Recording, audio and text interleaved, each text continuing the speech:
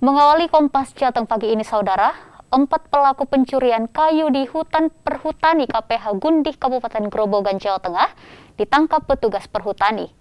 Selain para pelaku, petugas juga menyita truk berisi kayu curian, sepeda motor, serta alat pemotong kayu.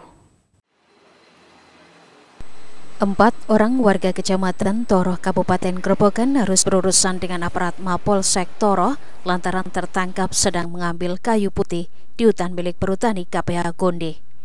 Keempat pelaku yang saat itu sedang menjalankan aksi pencurian sempat mengangkut sembilan batang kayu di atas truk dan para pelaku berhasil diamankan oleh petugas Satuan Polsus Perhutani. Kemudian keempat pelaku diserahkan ke Mapolsek Toroh untuk menjalani proses hukum selanjutnya.